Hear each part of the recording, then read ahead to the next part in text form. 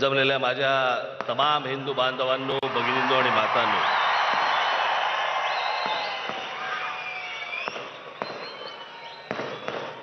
माझा आज भाषण करताना कदाचित टेबल फॅन होणार आहे.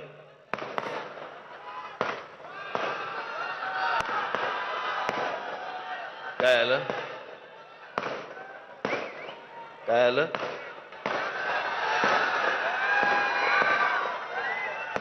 तुम्ही पण आहात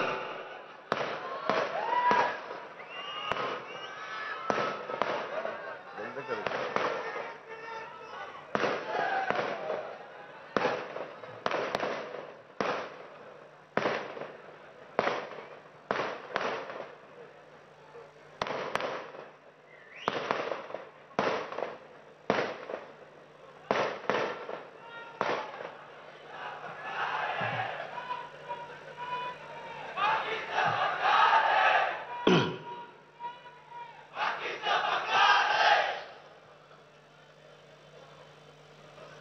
आता व्यासपीठाजवळ येत असताना मला अग्निशामक दलाचा बंब दिसला.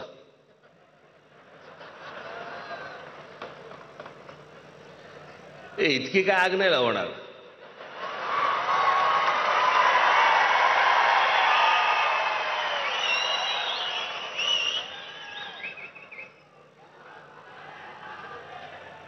आज दुपारी मी बसलो असताना मला एका पोलीस अधिकाऱ्यांचा फोन आला. आणि त्यांनी मला सांगितलं की आपण किती वाजता निघणार आहात? म्हटलं का हो? नाही म्हणे काही छोटक फुटक काही संघटना तुमचा ताफा अडवण्याचा प्रयत्न करणार आहेत. म्हटलं माझा?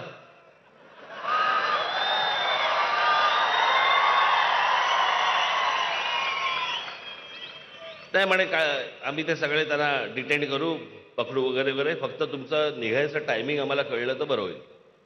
मी म्हटलं मी तुम्हाला जेव्हा निघणार आहे त्यावेळेला मी तुम्हाला कळवतो. महत्वाची गोष्ट अशी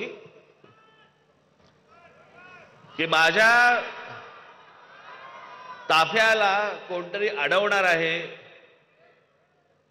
हे इंटेलिजन्सला कळलं.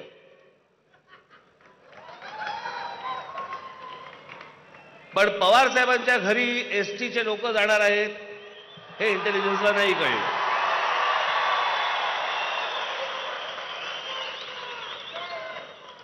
खरं तर त्यांना प्रत्येक गोष्ट माहिती असते. एखादा माणूस शिंकला तर तो करोनाचा शिंकला का साधा शिंकला हेही त्यांना माहिती असतं.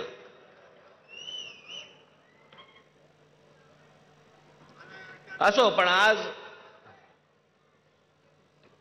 ही जाहीर सभा घेण्याचं प्रमुख कारण काय? सभा का घेतोय मी आज?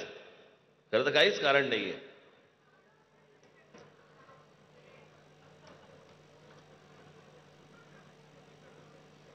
गुढीपाडव्याची सभा झाल्यानंतर अनेकांनी जे आपापले तारे तोडले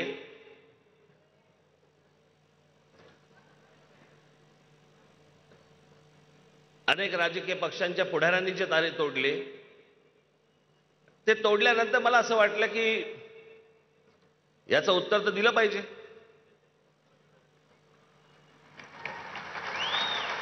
पण मला पत्रकार परिषद घेऊन याचं उत्तर द्यायचं नव्हतं.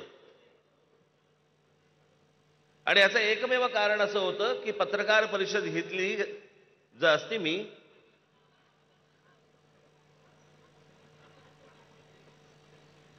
तर या सगळ्या पक्षांना जे बांधील काही पत्रकार आहेत ते पण त्याच्यामध्ये शिरतात आणि मूळ विषय राहतो बाजूला आणि हे कुठेतरी भलतीकडे भरकटवतात. आणि मला तो भरकटवून द्यायचा नव्हता. म्हणून मग विचार केला काय करायचं? तर मग मी आमच्या अविनाशला बोलवलं म्हटलं काय रे? म्हटलं आपण ठाण्याला सभा घेऊया का? म्हटलं मला या सगळ्या गोष्टींची उत्तर द्यायची आहेत. मला मला या जरूर करू आपण जोरदार करू. ते दिसतंच आहे.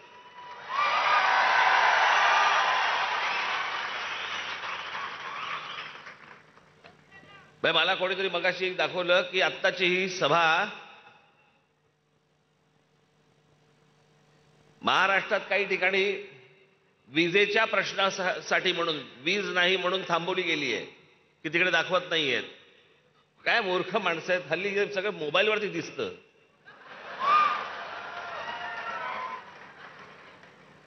तुमच्या करंटची अपेक्षा कोणाला आहे? पण आता ही सभा जाहीर सभा आपली मोठे स्क्रीन लावून जम्मूमध्ये पण दाखवली जात आहे जम्मूमध्ये.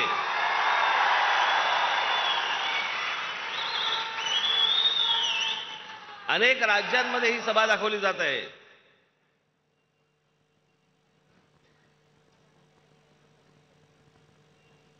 आणि म्हणून मी ही जाहीर सभा आज घेण्याचं इथे ठरवलं की त्या सगळ्या प्रश्नांची उत्तरं म्हटलं आपण आज जाहीर सभेनेच देऊ. कारण हल्ली काय झाले त्या दिवशी जी सभा झाली मग अनेक राजकीय पक्षांशी संबंधित असलेल्या अनेक पत्रकारांनी आपापला कंडू शमवून घेतला.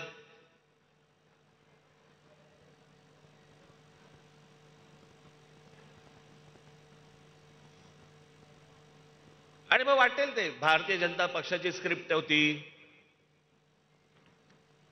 राजकीय पक्षाच्या नेत्यांना सांगणारी हीच सगळी मंडळी. आता सध्या महाराष्ट्रामधल्या अनेक चांगले पत्रकार आहेत गुणी पत्रकार आहेत.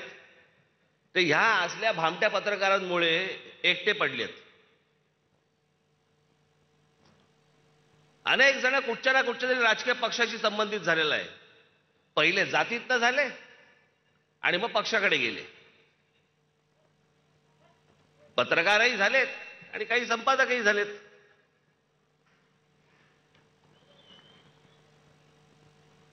आणि त्याच्यामुळे आपण काही बोललं की फक्त टीका करायची. टीका म्हणजे काय? तर त्या राजकीय पक्षांच्या नेत्यांचं जे म्हणणं आहे ते यांनी खरडायचं.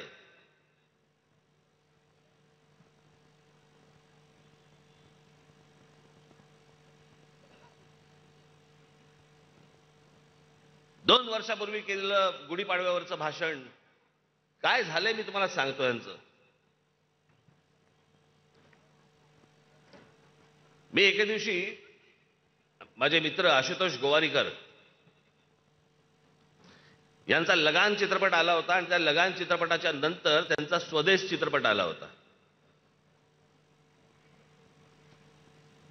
तो स्वदेश चित्रपट मी पाहायला गेलो मला आशुनी बोलवलं.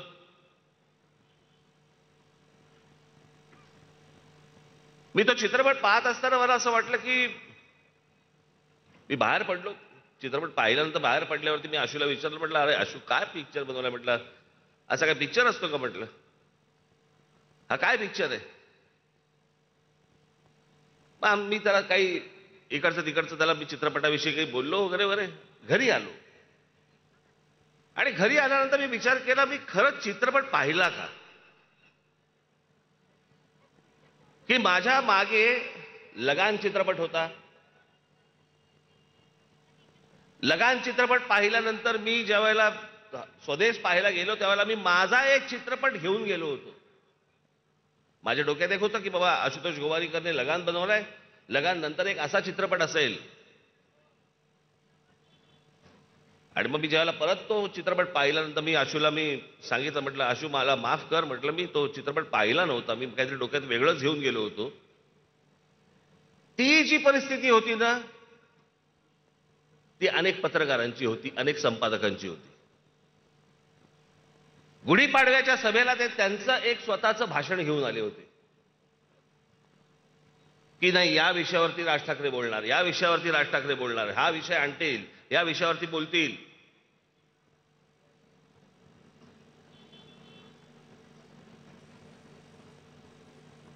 तीन वर्षापूर्वीच्या गुढीपाडव्याच्या सभेला नाही का ते नरेंद्र मोदींवरती बोलले होते. मग या वेळेला पण ते बोलतील. मी नाही बोललो तेव्हा बोललो होतो. परत तशी वेळ आली तर बोलीन.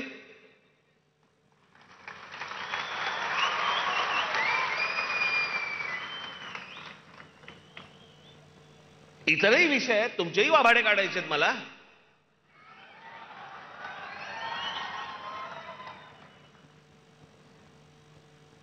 म्हणजे गेल्या निवडणुकीच्या वेळेला ज्या वेळेला बहुमत शिवसेना भारतीय जनता पक्षाकडे आलं आल्यानंतर पण ज्या प्रकारे तुम्ही मतदारांची प्रतारणा केली आणि शिवसेना राष्ट्रवादी काँग्रेस आणि काँग्रेसचं सरकार बनलं त्याच्या अगोदरचा एक पहाटेचा शपथविधी झाला. तो फिसकटला. आणि मग यांचं सरकार बसलं. आता या दोन्ही गोष्टींवरती मी बोलल्यानंतर ह्याच्यात भारतीय जनता पक्षाची स्क्रिप्ट कुठची आली? ही तर स्क्रिप्ट अख्ख्या महाराष्ट्राला देशाला माहिती आहे. ते विसरले होते फक्त आठवण करून दिली मी.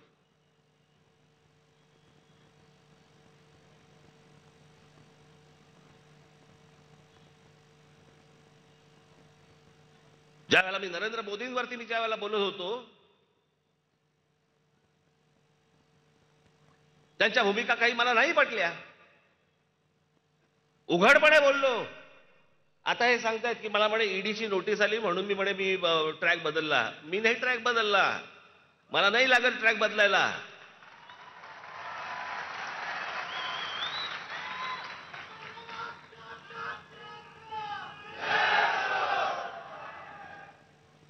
माहिती करून काही घ्यायचीच नाही. I L and F S नावाची जी कंपनी आहे त्या कंपनीची इन्क्वायरी होती ज्याच्यामध्ये ज्याच्यामध्ये कोयदूर ज्याच्यामध्ये मी होतो मी एका वर्षाच्या आत त्यातनं बाहेर पडलो. मी म्हणते हे झंगाड आपल्याला परवडणार नाही.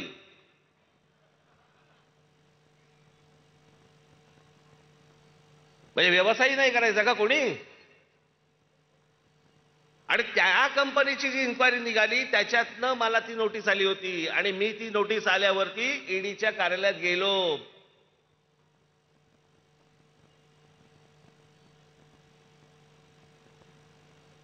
शरद पवार साहेबांना नुसती फक्त चाहूल लागली येते म्हणून.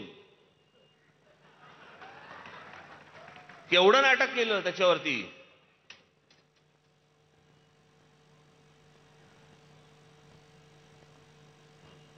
आणि जर या हाताने जर काही पापच केलेलं नाहीये नोटिशी कोणत्या पण येऊ देत त्या राजकीय असू देत नाही तर कायदेशीर असू देत ठीक नाही हलत मी त्याला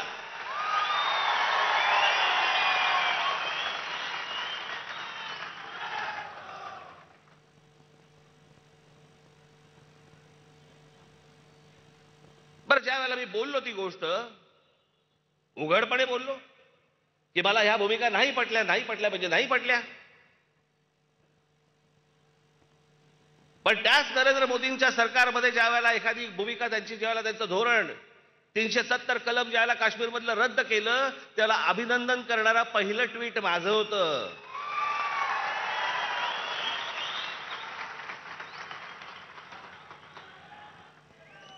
नरेंद्र मोदींसारखा पंतप्रधान या देशाला मिळावा असं बोलणाऱ्या या देशामधला पहिला माणूस मी होतो त्याच्यानंतर बाकीचे बोलले आहेत.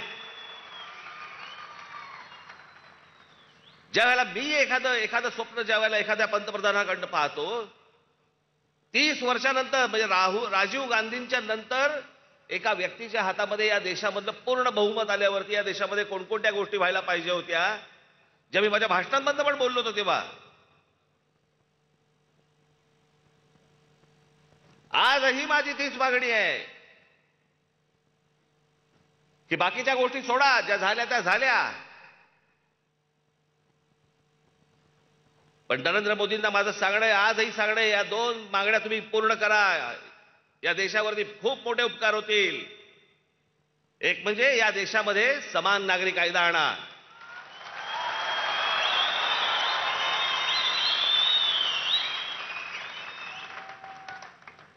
आणि दुसरं म्हणजे या देशातल्या लोकसंख्येवरती पहिल्यांदा नियंत्रण आणता येईल असा कायदा आणा.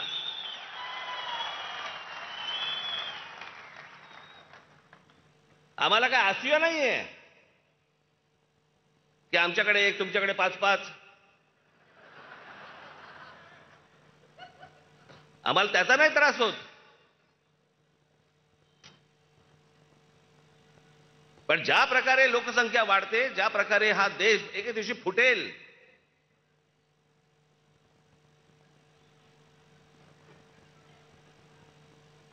पण ह्या काही गोष्टी या देशामध्ये होणं गरजेचे आहेत आवश्यक आहेत.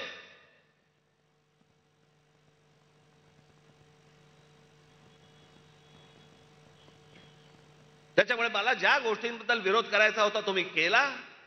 उद्या जर एखादी गोष्ट मला जर नाही पटली तर परत करीन. परंतु विनाकारण आपलं उठले भाषणाला उठले आणि उगाच विरोध करायचा नाही. आता तुम्ही चिखल खाल्लाय तुम्ही शेड खाल्लाय आता तुमच्यावर.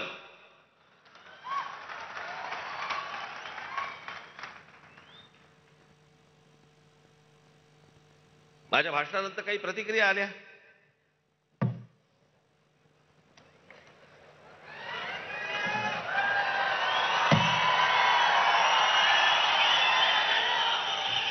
म्हटलं विसरायला नको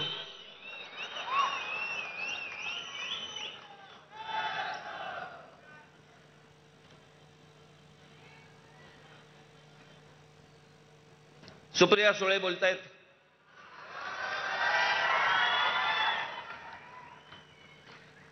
लाव रे तो व्हिडिओ म्हणणारे एका नोटीशीने बदलतील याचं मला आश्चर्य वाटतं. म्हणजे मी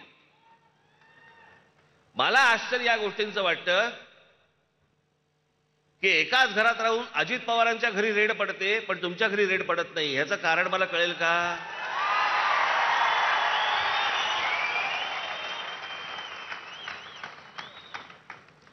कारण इकडे महाराष्ट्रात कसं आहे एक एक जण पोहोचवला की पवारसाहेब मोदींची भेट घेतात पुढचा माणूस सांगायला.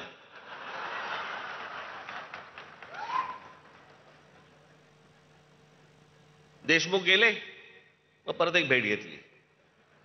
अजितचं काय? मग रेट टाकल्या. रेट कंप्लीट झाल्या परत भेट घेतली. तो जरा नवाब मलिक जरा फाजीलपणा जास्ती करतोय जरा जरा थोडंसं लक्ष द्या. मग नवाब मलिक. आता नवाब मलिकांचं झालं परवा दिवशी एक फोटो काढला सगळ्या राज्यसभेतल्या खासदारांचा नंतर हळूच जाऊन परत आजमध्ये परत भेटले. मग काहीतरी संजय राऊत बद्दल बोलले. असं म्हणे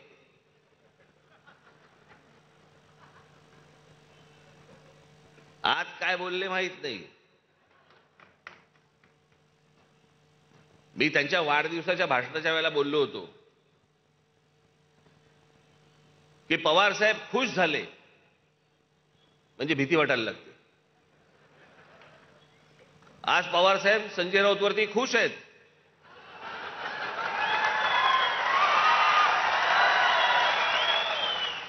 कधी टांगलेला दिसेल कळणार पण नाही. याच्यामध्ये अनेक काँग्रेसवाले गेलेले आहेत.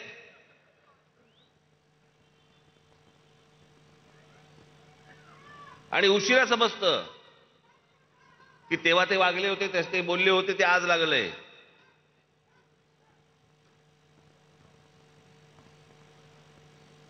अजित पवारांच्याकडे रेड पडते. अजित पवारांच्या सख्या बहिणींच्या घरी रेड पडते. आणि त्याच्यानंतर देखील पवार साहेब आणि नरेंद्र मोदी यांचे अत्यंत मधुर संबंध राहतात. कसं काय? मी कधी बघितलं नाही पवार साहेबांना भडकलेलं कधी बोलताना. मी ज्यावेळेला उघडपणे बोलत होतो त्यावेळेला ह्यांच्या शेपट्या आतमध्ये होत्या सगळ्यांच्या. हे कोणी बोलले नाही ते दुसरे एक ते जंत पाटील.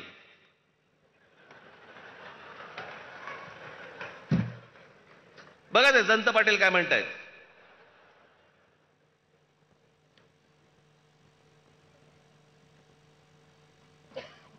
हे कधी म्हणे गेले होते उत्तर प्रदेशामध्ये?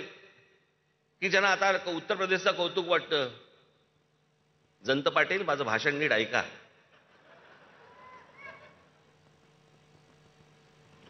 मी म्हटलं ज्या बातम्या कानावरती येत आहेत त्याप्रमाणे जर उत्तर प्रदेशमध्ये जर विकास झालेला असेल तर त्याचा मला आनंद आहे. माझी भाषा काय आहे? जर तरची भाषा आहे. ज्या बातम्या माझ्या कानावर येत आहेत तसा जर विकास झाला असेल तर. तुम्हाला आठवत असेल तर गेल्या दोन हजार चौदाच्या लोकसभा निवडणुकीच्या वेळेला मी सतत सांगत होतो की पंतप्रधान नरेंद्र मोदी उद्या ज्यावेळेला पंतप्रधान म्हणजे नरेंद्र मोदी जेव्हा पंतप्रधान होतील ते झाल्यावरती त्यांनी उत्तर प्रदेश बिहार आणि झारखंड या तीन राज्यांकडे लक्ष द्यावं. त्या तीन राज्यांचा विकास करावा. या तीन राज्यांमधनं बाहेर पडणारी माणसं जी महाराष्ट्रामध्ये येत आहेत महाराष्ट्र यांचं ओझं सहन करू शकत नाही.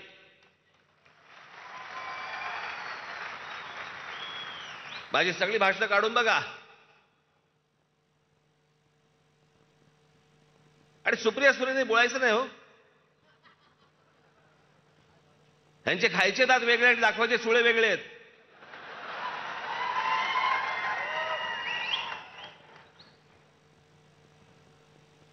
जंत पाटील. आता जंत पाटलाला काही सांगा. चकित चंदू.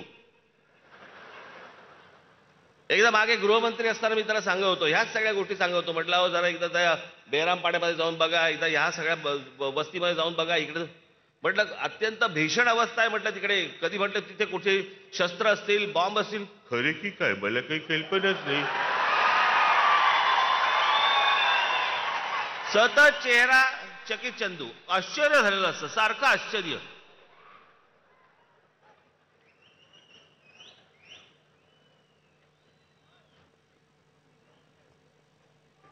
संपलेल्या पक्षाबद्दल मी काय बोलणार? संपलेला पक्ष अरे येऊन बघा हा काय संपलेला पक्ष आहे का?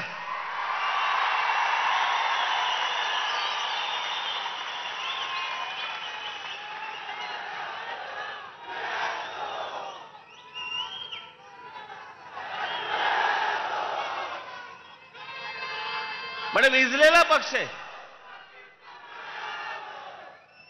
महाराष्ट्र नवनिर्माण सेना म्हणे विजलेला पक्ष आहे. जय- जंतराव. हा विजलेला पक्ष नाहीये हा समोरच्यांना विझवत जाणारा पक्ष आहे.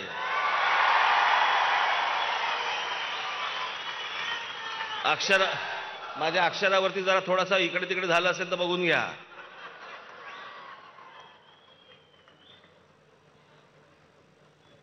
हे काय मला सांगता यांचा मतदारसंघाबाहेरांना कोणी हुंगून विचारत नाही. आणि मला सांगतात की यांचे आमदार काय झालं आमदार कुठे गेले? राष्ट्रवादी काँग्रेस हा निवडून येणाऱ्या आमदारांचा उमेदवारांची मोळी आहे ती. निवडून येणाऱ्या जे लोक असतात त्यांना एकत्र करून बांधलेली मोळी आहे त्याची रश्शी फक्त पवार साहेब आहेत. ही माणसं कुठच्याही दुसऱ्या पक्षामध्ये गेली की निवडून येतील.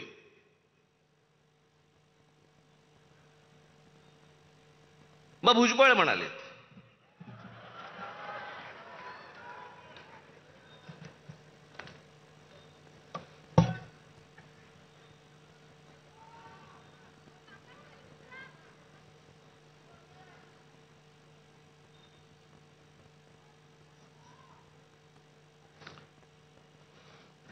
भुजबळ म्हणतायत त्यांनी माझ्यावरती टीका केली हे खरं आहे. मीही मोदी बीजेपी विरोधात बोलत होतो. त्यामुळे मला जो त्रास सहन करावा लागला तो मी सहन केला. पण त्यासाठी मी माझा मार्ग बदलला नाही. अच्छा?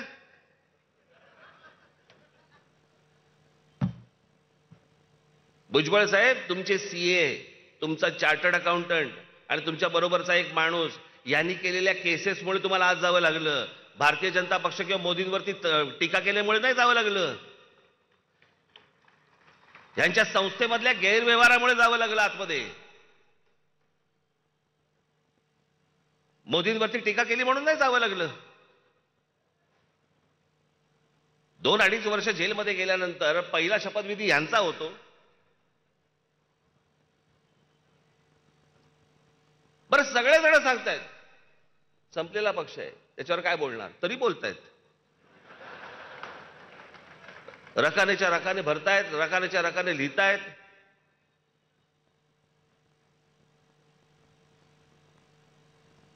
आमचे शेवटचे.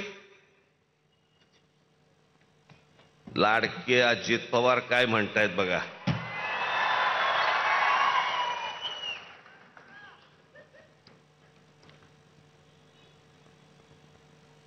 त्यांचा एक आवडता शब्द आहे पठ्ठ्या. यांना काय म्हणे भोंगे आत्ताच दिसले का म्हणे? आत्ताच सुचले का? याच्या अगोदर काय म्हणे झोपा काढत होतात का?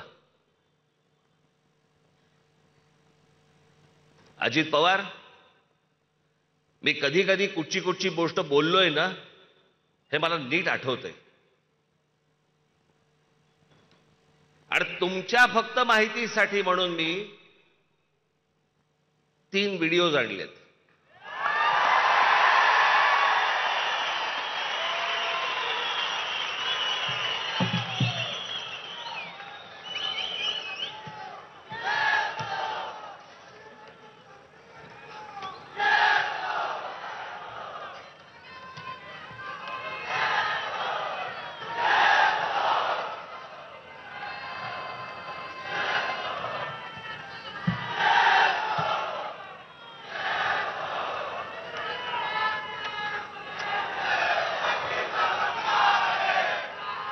मी याच्या अगोदरही बोललो होतो. परंतु त्या त्याचे मला काही व्हिडिओ सापडले नाहीत. सोक्षमोक्ष लावलेला बरा असतो. काय झालं? तो जो सकाळचा शपथविधी झाला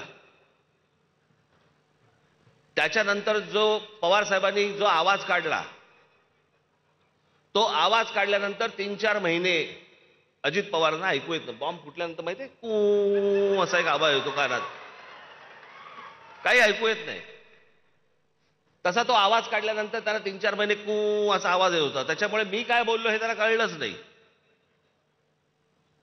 तरी पण मी तुम्हाला पहिला जे मी माझं बोलणं झालं बोललोय अठ्ठावीस जुलै दोन हजार अठरा.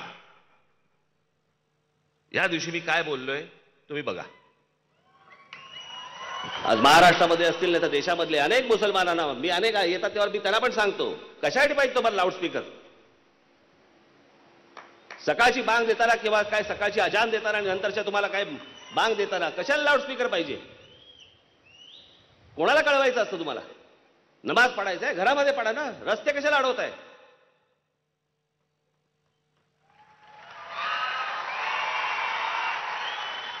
एक ऑगस्ट दोन हजार अठरा. फक्त सायलेन्स होऊन आम्हाला. आणि मग मशिदीवरचे जे लाऊडस्पीकर लागतात जे त्या दिवशी मी त्या औरंगाबादला गेलो. संध्याकाळच्या वेळेला तर मला असं वाटलं की बांगेची कॉन्सर्ट सुरू आहे. सगळ्या ठिकाणून आपले जोर जोरात चालू आहे ते सगळं. त्यांनी त्यांचं काही काय त्यांना काय बांग मारायची आहे, काय त्यांना आजान पडायचंय किंवा काय करायचंय तुमचं तुम्ही करा ना. लाऊडस्पीकर कशाला लागतोय? आणि हे बारा महिने चोवीस तास चालू आहे. इथे फक्त गणेशोत्सवासाठी तुम्हाला दहा दिवस मागतायत. मग दहा दिवसामध्ये तुम्हाला सगळ्या परवानगी बिरवानग्या लागतात. त्याला अडखटी आणताय तुम्ही.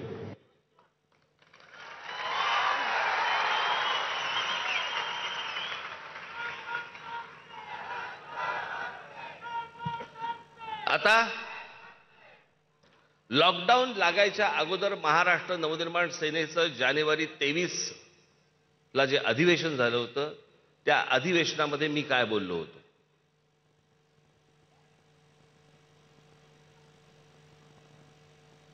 धर्म प्रत्येकाने आपापल्या घरामध्ये ठेवावा. आणि त्याच्यासाठी मशिदींवरचे जे लागणारे भोंगे आहेत हे भोंगे देखील तितकेच बंद झाले पाहिजेत. हे जेव्हा तेव्हाच मी बोललो होतो.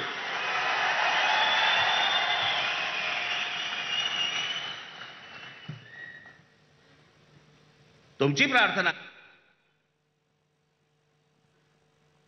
धर्म प्रत्येकाने आपापल्या घरामध्ये ठेवावा. आणि त्याच्यासाठी मशिदींवरचे जे लागणारे भोंगे आहेत हे भोंगे देखील तितकेच बंद झाले पाहिजेत हे देवा तेव्हाच मी बोललो होतो.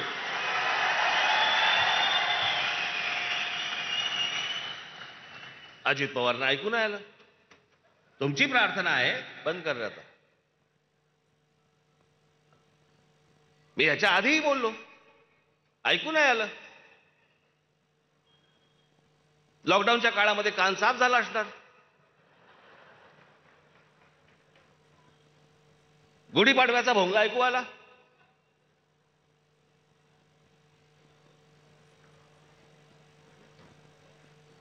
बरं मी चुकीचं काय बोललो? या मशिदींवरच्या भोंग्यांचा अख्ख्या देशाला त्रास होतोय. ह्याच्यामध्ये धार्मिक विषय कुठे आहे?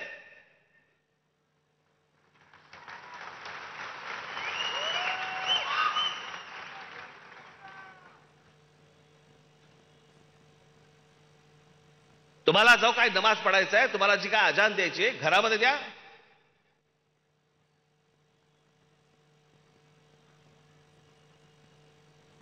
शहरांचे रस्ते कशाला अडवत आहे शहरांचे फुटपाथ कशाला अडवत आहे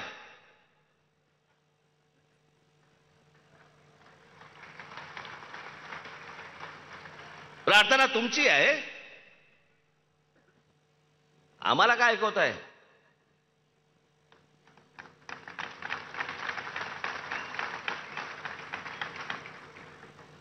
आणि जर सांगून जर समजा तुम्हाला समजत नसेल की हे भोंगे खाली उतरवा तुम्ही आम्हाला विनाकारण त्रास देऊ नका. हे जर नीट सांगून समजत नसेल तर तुमच्या मशिदीच्या बाहेर आम्ही हनुमान चालिसा लावणार म्हणजे लावणार.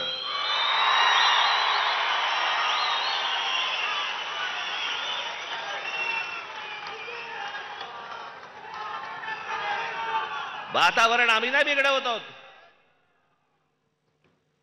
आम्ही वातावरण नाही बिघडवत आहोत. हा धार्मिक विषय मुळात नाहीच आहे हा सामाजिक विषय आहे. वयस्कर लोकांना विद्यार्थ्यांना महिलांना सर्वांना या गोष्टींचा सकाळी त्रास होतो. पाच पाच वेळा तुम्ही दिवसभराबंद तिकडे नमाज पडता बांग देता.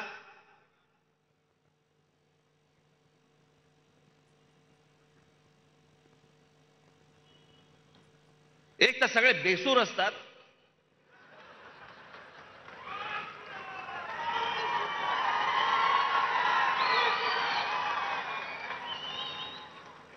काय म्हणून आम्ही ऐकायचं? रस्त्यावरती घाण झाली तर आपण रस्ता साफ करतो. फुटपाथवरती घाण झाली तर आपण फुटपाथ साफ करतो. मग जर कानाला त्रास होत असेल तर भोंगे खाली उतरवलेच पाहिजेत.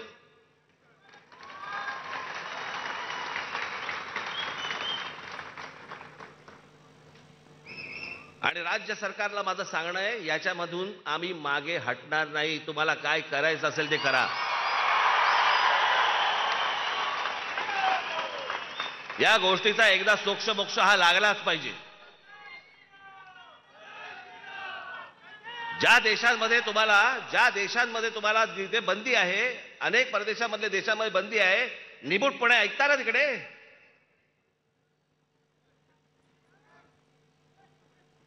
आज माझे अनेक असे मुसलमान परिचयाचे लोक आहेत ते येऊन सांगतात की तुम्ही म्हणताय ते बरोबर आहे.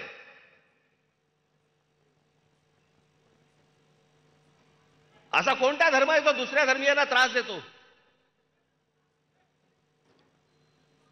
आज तुमचा रमजान चालू आहे आम्ही समजू शकतो.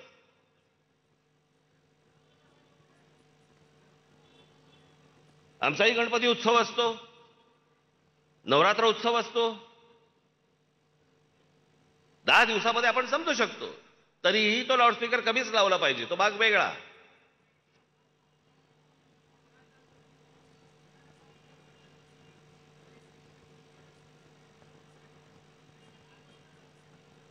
काही सणवार असेल तर आपण समजू शकतो. हे तीनशे पासष्ट दिवस ज्यावेळेला तुम्ही हे लाऊडस्पीकर बंद ह्या गोष्टी तुम्ही ऐकवता कशासाठी? कोणासाठी?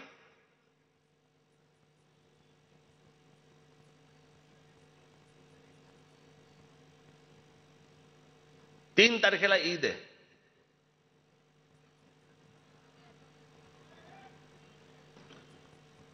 माझी राज्य सरकारला गृह खात्याला माझी विनंती आहे की कुठचीही तेढ कुठचीही दंगल कुठच्याही गोष्टी आम्हाला निर्माण करायच्या नाहीत आम्हाला त्याची इच्छा देखील नाही. महाराष्ट्राचं स्वास्थ्य आम्हाला बिघडवायचं नाही.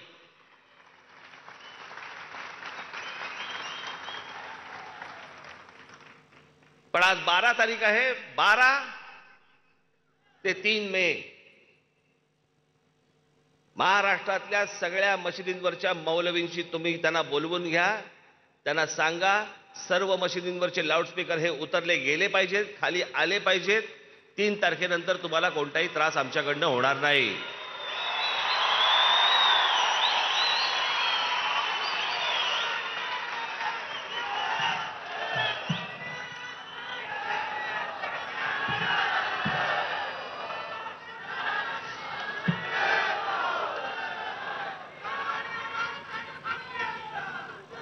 अठरा जुलै दोन हजार पाच. अठरा जुलै दोन हजार पाचचा सर्वोच्च न्यायालयाचा निकाल आहे किंवा त्यांची टिप्पणी आहे.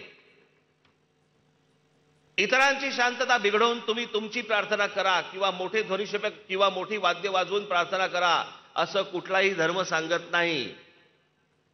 आमच्या मते समाजात धर्माच्या नावाने म्हातारी माणसं आजारी रुग्ण विद्यार्थी यांची पहाटेची झोप बिघडवणं दिवस खराब करणं आणि बाकीच्यांचा दिनक्रम विस्कळीत करणं अशा गोष्टींना मुळीच परवानगी देता कामा नये.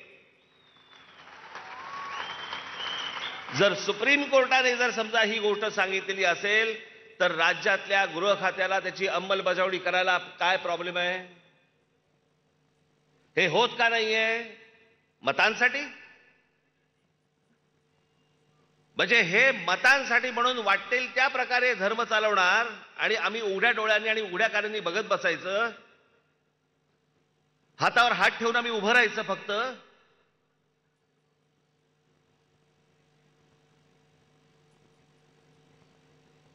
आणि हा देशभर त्रास आहे. जे आज माझं भाषण ऐकत असतील त्या सर्व तमाम हिंदूंना माझं सांगणं आहे. तीन तारखेपर्यंत जर ऐकले नाही तर देशामध्ये जिथे जिथे मशिदी असतील जिकडे बांग सुरू असेल तिकडे हनुमान चालिसा हे लागलंच पाहिजे अख्ख्या देशभर लागलं पाहिजे.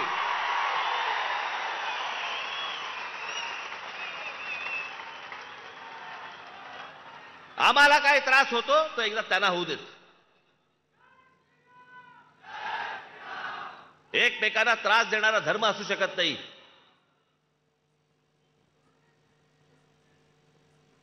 आणि ह्याच्यावरती यांची बाजू घेणारे. हे इकडचे ते आवाड.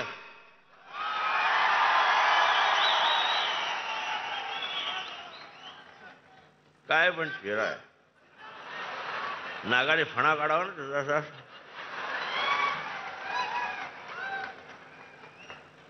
आता उद्या काहीतरी बोलेलच. डसू शकतो बिसू शकतो वगैरे वगैरे. ये शेपटा धरतो गरगर फिरवतो आणि फेकून देतो.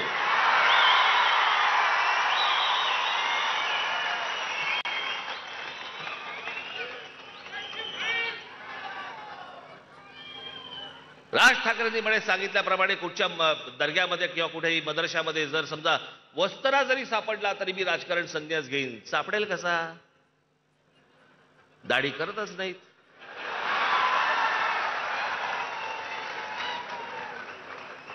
वस्त्रा कसा सापडेल? बरं इकडून तिकडून तुला वस्त्रा दिसला. याच्या बुद्धीची क्यू करावीशी वाटते मला. आवाड. आता मी चार गोष्टी तुम्हाला वाचून दाखवतो.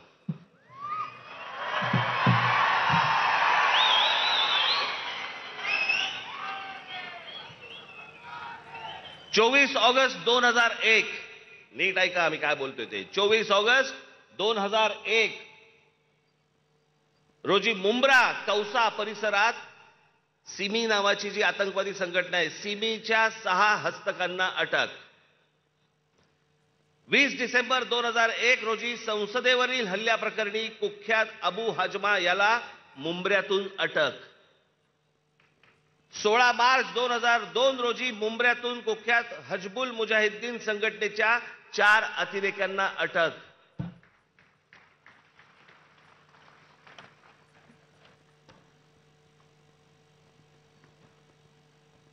कोणा एका नेत्याच्या हत्येचा कट रचल्याप्रकरणी तिघांना अटक.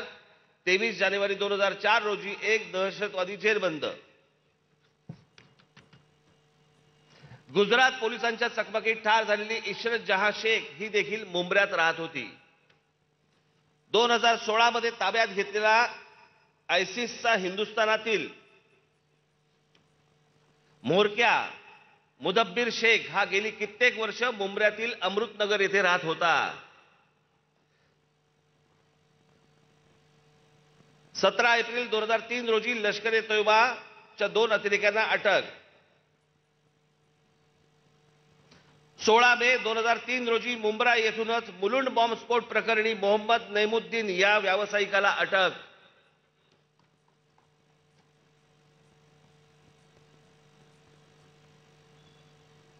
मुंबऱ्यात रिजवान मोमीन या संशयित अतिरेक्याला अटक.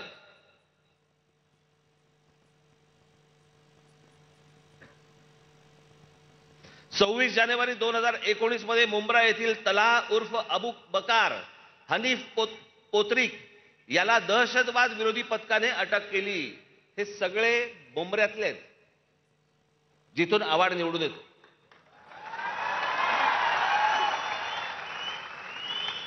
आता तुम्ही म्हणाल की वस्तारा नाही सापडला. आता कसा संन्यास घेणार? मी कुठे बोललो तो अतिरेकी सापडत नाहीत म्हणून? या अशा अनेक असंख्य घटना या देशामधल्या अनेक मदरशांमध्ये चाललेल्या आहेत. याच्यामध्ये पाकिस्तानी सगळे हस्तक आहेत. याच्यामध्ये अतिरेकी आहेत. याच्यामध्ये शस्त्र सापडतायत. आणि खरंच सांगतो याच्यामध्ये या देशामधला प्रामाणिक जो खरंच या देशावरती प्रेम करणारा जो मुसलमान आहे ना तो ह्याच्यामधनं भरडला जातोय.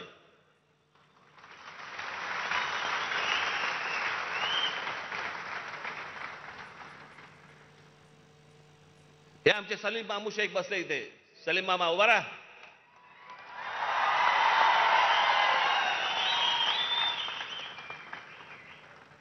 सलीम मामा शेख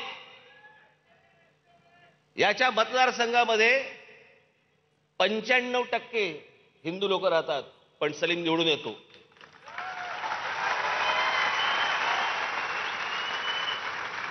याचं कारण हे मराठी मुसलमान. या देशावरती प्रेम करणारे मुसलमान या देशाशी प्रामाणिक असलेले मुसलमान असंख्य आहेत पण हे या लोकांमुळे भरडले जात आहेत. हा जो देशाचा देशामध्ये धर्माचा अतिरेक करणारे जी लोक आहेत ना हे त्यांच्यामुळे भरडले जात आहेत.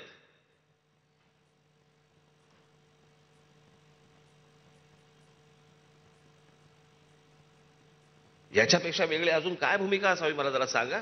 आणि पवार साहेब सांगतायत मी जातीयवाद भडकवतो. मी? बरं पवार साहेबांनी सांगावं राष्ट्रवादी काँग्रेसने सांगावं राज ठाकरे त्याची भूमिका बदलतो म्हणून? राष्ट्रवादी काँग्रेसने बोलावं?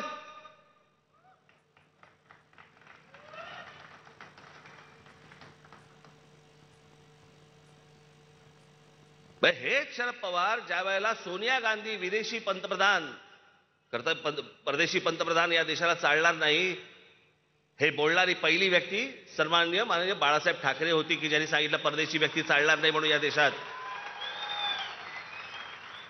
आणि मग तो धागा पकडून पवार साहेबांनी काँग्रेसमधनं बाहेर पडले की विदेशी पंतप्रधान आम्ही मान्य नाही करणार म्हणून. नव्याण्णवला बाहेर पडले सोनिया गांधी नकोत म्हणून. बाहेर पडले निवडणुकांचा निकाल लागला आणि परत काँग्रेस बरोबर गेले आणि मला असं वाटतं कृषी मंत्री झाले. दोन महिन्यात भूमिका बदलली.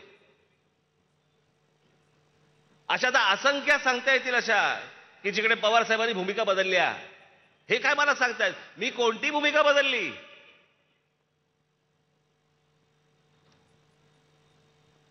हिंदुत्वाची भूमिका मी आज नाही आणली आहे.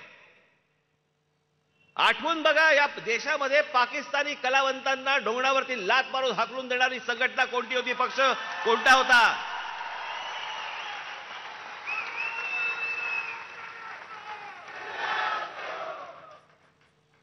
परत जर चित्रपटामध्ये पाकिस्तानी कलावंत घाल तर याद राखा हे प्रत्येक प्रोड्युसरला नोटीस कोणाकडे गेली होती? जे आपल्याकडे येऊन गाणी गात होते आपल्याकडे येऊन चित्रपटामध्ये काम करत होते या सगळ्यांना ज्यांनी हकलून दिलं तो माझा महाराष्ट्र सैनिक होता.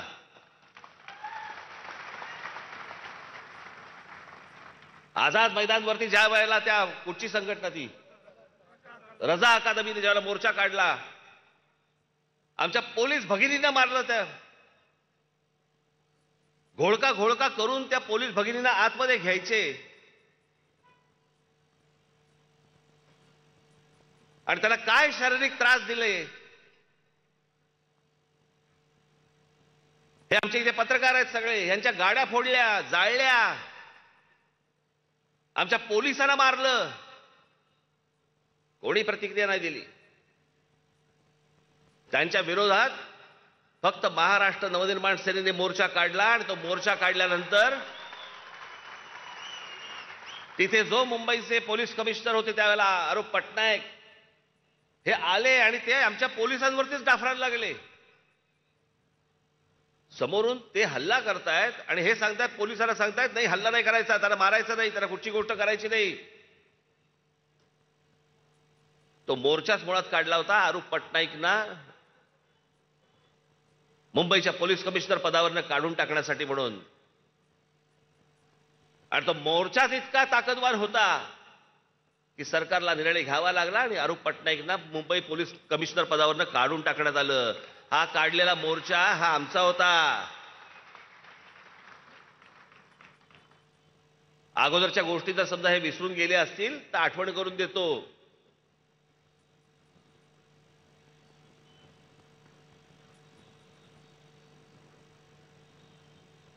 एकदम सगळे त्या गुढीपाडव्याच्या सभेनंतर एकदम सरफटले सगळे. काय उत्तर देऊची काय उत्तर देऊ? काय करायचं? काय नाही करायचं? मग ते आपलं एकच पालुपत लावलं. ईडीची नोटीस आली? ईडीची नोटीस आली?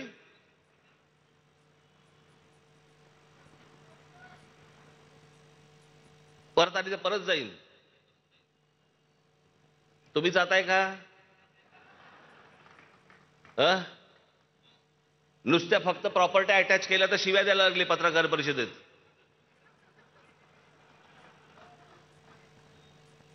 काय पण भाषा पत्रकार परिषदेमधली. पत्रकार परिषदेमध्ये येऊन एका वर्तमानपत्राचा संपादक येतो आणि तो काय म्हणतो? भडवा चुतिया. कशामुळे झालं हे सगळं? कारण आलं इथं अंगाशी. हे कुठचे आहेत तेच कळत नाहीत. हे शिवसेनेचे आहेत का राष्ट्रवादीचे आहेत? ह्यांच्यासारखे एक ह्यांच्यासाठी एक खा फार छान शब्द आहे. आमच्या आजोबांनी फार छान शब्द काढला होता असल्या वृत्तीच्या लोकांसाठी. हे सगळे लवंडे.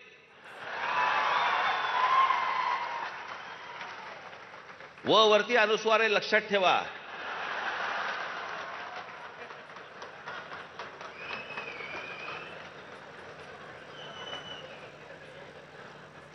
म्हणजे काय? तर आपल्याकडे पूर्वी जेवायला पत्रावळी असायची आणि मग ती एक द्रोण असायची. त्या द्रोणीमध्ये वरण टाकलं आमटी टाकली की ती तिकडे पण लटकते. मग ती ती- लवंडे जिकडे ती ल- म्हणून ते लवंडे. शिवसेनेकडनं पडलं की शिवसेनेकडे लवंडे?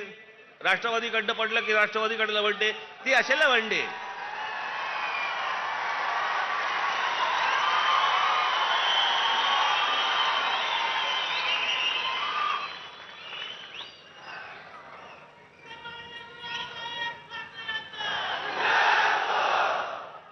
केवढं झोंबलं त्यांना ते. मी जे पवार साहेबांबद्दल जे बोललो की जातीयवाद जो आला महाराष्ट्रामध्ये जात होतीच. असंख्य वर्ष अनेक हजारो वर्ष जात आहे या देशामध्ये या महाराष्ट्रामध्ये. प्रत्येक जातीला प्रत्येक जातीतल्या माणसाला आपापल्या जातीबद्दल अभिमान होता. नव्याण्णवला ज्या वेळेला राष्ट्रवादी काँग्रेसचा जन्म झाला तो जन्म झाल्यानंतर दुसऱ्या जातीबद्दल द्वेष निर्माण करायला लावला. आमच्या मुलांची माथी भडकवली गेली. इतिहास चुकीचा सांगितला गेला म्हणे. पवार साहेब सांगतायत म्हणे इतिहास चुकीचा सांगितला गेला. मला सांगा सांगते काय त्या कुठच्या संघटना काढल्यात ना राष्ट्रवादीने Sambhaji B grade C grade वगैरे अशा अनेक संघटना तरी काढल्यात. या नव्याण्णव नंतरच कशा का आल्या? योगायोग? योगायोग नाही यांनीच काढल्या. तुम्हाला मी शरद पवार साहेबांच्या एक मुलाखत घेतली होती पुण्याला मी त्याच्यामध्ये हा प्रश्न विचारला होता आज विचार काढून बघा. मी त्याच्या पुढे त्यांचं वय ऐकून बघून मी फार खोलात गेलो नाही.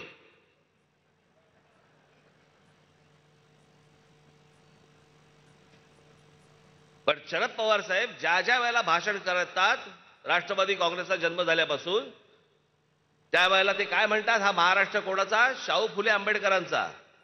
मान्यच आहे. पण त्या अगोदर हा महाराष्ट्र सर्वप्रथम जर कोणाचा असेल तर तो आमच्या छत्रपती शिवरायांचा महाराष्ट्र आहे.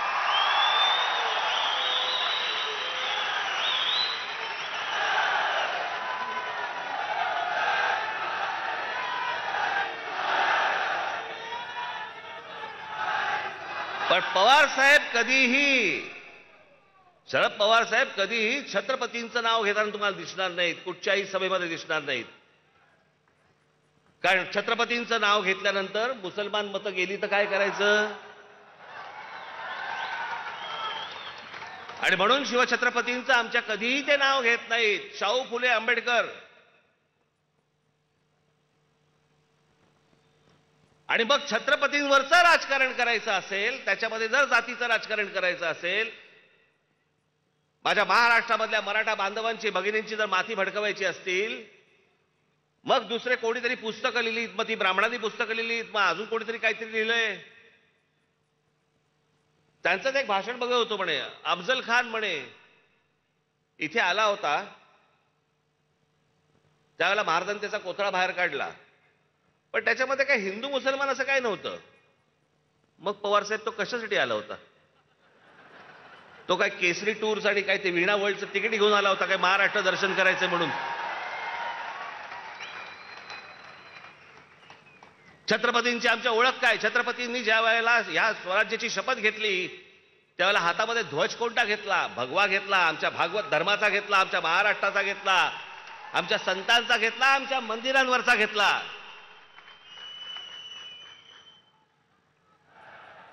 ही लढाई तेव्हा कधी तुम्हाला दिसली नाही का? की हिरव्या झेंड्याच्या विरोधातला हा भगवा झेंडा. ही लढाई तुम्हाला दिसली नाही?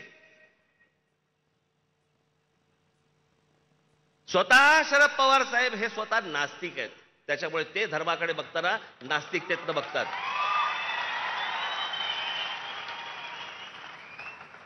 एखादा मिळाला तर दुर्मिळ फोटो तुम्हाला मिळेल एखादा पवार साहेबांचा मंदिरात हात जोडतानाचा पण तोही मिळणार नाही. कारण ते आहेतच स्वतः नास्तिकच आहेत ते. ते धर्मबिर्म काही मानत नाहीत. देवबिव काही मानत नाहीत. आणि मग ते त्यांच्या पद्धतीने राजकारण समजवण्याचा प्रयत्न करतात. त्यांना अपेक्षित असलेलं.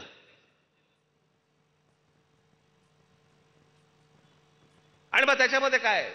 बाबासाहेब पुरंदरे सॉफ्ट टार्गेट त्याशी मी सांगितलं तुम्हाला. बाबासाहेब पुरंदरेंनी चुकीचा इतिहास सांगितला. कोणत्या पानावरती कोणत्या ओळीत सांगितला ते तर सांगा ना.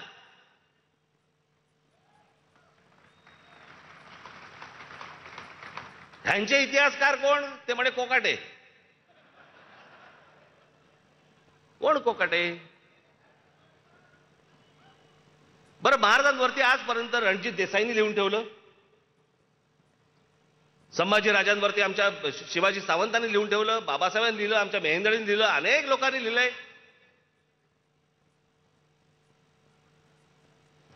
प्रत्येकाने आपापल्या पद्धतीने शिवाजी महाराज महाराष्ट्र समोर आणले. पण घराघरामध्ये जर समजा शिवाजी महाराज कोणामुळे जर पोचले असतील तर ते फक्त बाबासाहेब पुरंदरेंमुळे पोचले. हे नाकारून चालणारच नाही तुम्हाला. आणि हे कोणीही मान्य करतं. मग त्यांची व्याख्यानं असू देत त्यांची पुस्तकं असू देत तर काही असू देत. पण आम्हाला इतिहास नाही बघायचा आहे आम्हाला ते पुस्तक कोणत्या जातीच्या माणसाने लिहिलं ते बघायचं आहे आम्ही आमच्या शिवछत्रपतींचा इतिहास सांगणार नाही आहोत. आम्ही आमच्या मराठेशाहीचा आम्ही इतिहास सांगणार नाही आहोत. आम्ही मराठेशाहीचा इतिहास सांगताना आम्ही त्याच्यामध्ये फोड करणार. फोड काय करणार? की बघा पेशव्यांनी चालवलेलं पेशव्यांनी केलेली गोष्ट. काय पवार साहेब काय चाललंय? तुमच्यासारख्या बुजुर्ग माणसाने या दे- महाराष्ट्र राज्यामधला जातीपातीचा हा भेद गाडला पाहिजे गाडून टाकला पाहिजे. तुम्ही याच्यासाठी प्रयत्न केले पाहिजेत. पण तुमच्या स्वतःच्या राजकीय स्वार्थासाठी म्हणून या सगळ्या गोष्टी करताय तुम्ही. या शरद पवार साहेबांकडे अनेक गुण आहेत. खरंच घेण्यासारखे आहेत. पण ह्याचं काय करायचं? मी त्यांच्या वाढदिवसाच्या वेळेला जेव्हा भाषण केलं होतं त्या भाषणाची माझी पहिली लाईन तुम्ही पहिली ओळ. आज काढून बघा.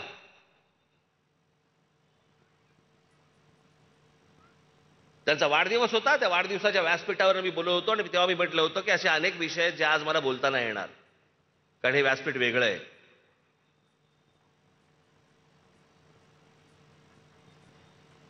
पण हा जातीपातीचा तो चिखल महाराष्ट्रामध्ये होतोय घडतोय. याला यांचं काय राजकारण करायचं करू देत? माझी महाराष्ट्रातल्या माझी सर्व बांधवांना भगिनींना माझी विनंती आहे यातनं बाहेर या. यातनं आपल्या हाताला काही लागणार नाहीये.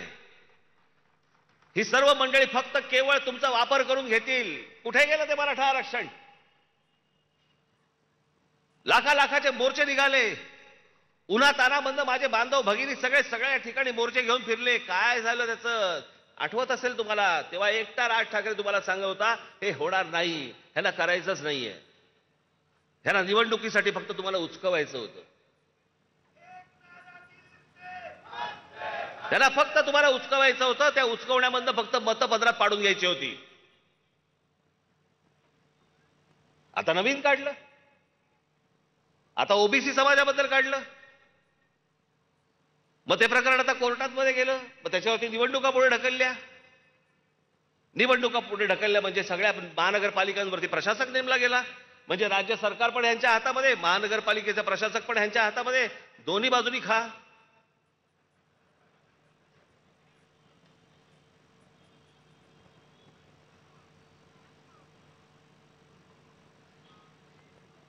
काय हा वैभवशाली महाराष्ट्र आपला?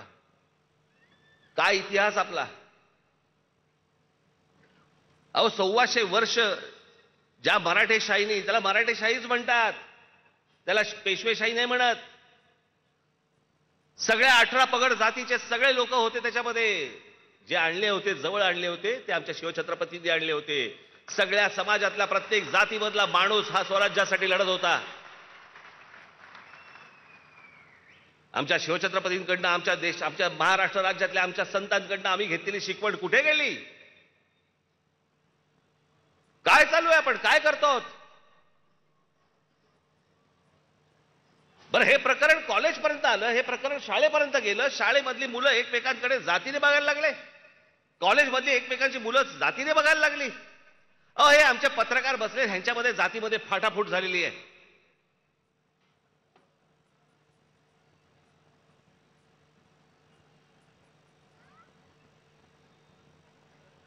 महाराष्ट्राला कोणी हरवू शकलं नव्हतं. महाराष्ट्राला हरवतंय कोण? आमची जात.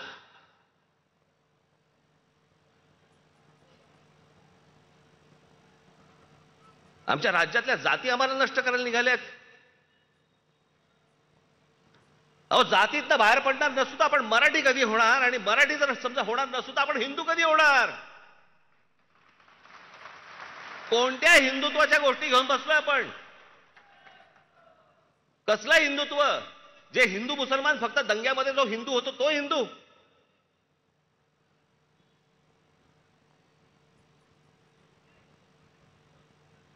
या सगळ्यांपासून माझे महाराष्ट्राच्या सगळ्यांना माझी हात जोडून विनंती आहे ह्या सगळ्या भामट्यांपासून दूर राहा. हे महाराष्ट्र त्यांच्या स्वार्थासाठी खड्ड्यात घालतील. स्वतःला हव्या असलेल्या पैशांसाठी हे महाराष्ट्राला खड्ड्यात घालतील. कोणाला कशाची चिंता नाहीये. त्या एसटी कर्मचाऱ्यांकडे बघा चार महिने पाच महिने अनेक महिने झाले त्यांचे. संपत मिटत नाहीये. मी स्वतः पवार साहेबांकडे माणसं घेऊन गेलो होतो. लगेच ह्याच्यावरती आपण तोडगा काढू. अजून तोडगा निघालेला नाहीये. तोडगे निघत नाहीत. गेल्या वर्षीपासून संप सुरू आहे. त्यांची दिवाळी खराब गेली सगळं खराब गेलंय. एकदा काय ते निश्चित त्यांना सांगा तरी काय होणार आहे त्यांच्या भविष्यामध्ये आयुष्यामध्ये? कशाचा कशाला पत्ता नाही आणि आम्हाला कशामध्ये गोंधळून टाकतायत ह्याचे रोजचे चालले आहेत ह्याला जेलमध्ये टाक त्याला जेलमध्ये टाक. हा इथून बडबड करतोय तो तिकडून बडबड करतोय आणि आमच्या टेलिव्हिजन चॅनलवरती दुसऱ्या बातम्या नाहीत. आम्ही सगळं विसरून गेलोय. आज महाराष्ट्रामध्ये मोठ्या प्रमाणावरती लोड शेडिंग सुरू झालेलं आहे. आमच्याकडे काय नाही. छोटक फुटक बातम्या येतील संपला विषय. उद्या परत हे भांडायला मोकळे. परत हे काहीतरी बोलतील. परत हा काहीतरी बोलणार. टेलिव्हिजन चॅनल्स नाव देखील माझी हात जोडून विनंती आहे. बाबानो हे बैल बंद करून टाका त्यांना. तुम्ही एक निर्णय घ्या की नाही हे आम्ही दाखवणार नाही. जे महाराष्ट्राचं हिताचं आहे ते एवढंच आम्ही दाखवू. काही गरज नाही चोवीस तास दाखवायची. चांगलं जर समजा तुम्ही पाच तास दाखवलं ना तरी महाराष्ट्र सुखी होईल. पण ह्या सगळ्यामधनं बाहेर येणं आवश्यक आहे गरजेचं आहे. लोकांना वाटत असेल की हे भोंग्याचं राज ठाकरे राजकारण करतोय मला राजकारण करायची गरज वाटत नाही. मला जे आहे हा महाराष्ट्र हा देश साफ झाला पाहिजे नीट झाला पाहिजे सुरक्षित राहायला पाहिजे. माझ्या माता भगिनी ज्यावेळेला रस्त्याने फिरतील कुठेही जाताना त्यांना सुरक्षित वाटलं पाहिजे. आमच्या महाराष्ट्रामधली जी- देशामधली जी वयस्कर लोक आहेत लहान मुलं आहेत अभ्यास करणारे आहेत त्यांना या भोंग्यांचा त्रास होता कामा नये. आणि त्याच्यासाठी म्हणून जर समजा उद्या काही केसेस अंगावरती घ्यायच्या झाल्या माझ्या सकट आम्ही घेऊ माझ्यावर काहीतरी शंभर सव्वाशे केसेस आहेतच.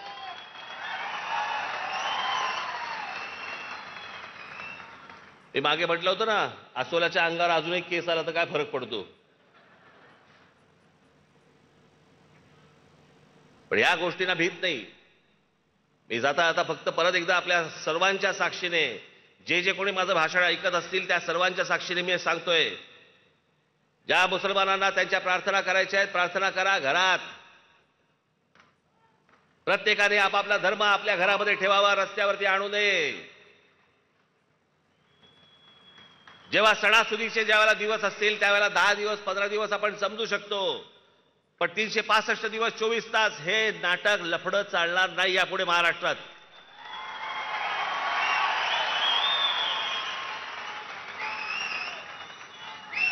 आणि एक गोष्ट सांगतो. आता हनुमान चालिसा सांगितलंय. अजून मी माझ्या पुढच्या भातावातला मी अजून बाण काढलेला नाहीये. तो काढायला मला लावू नका.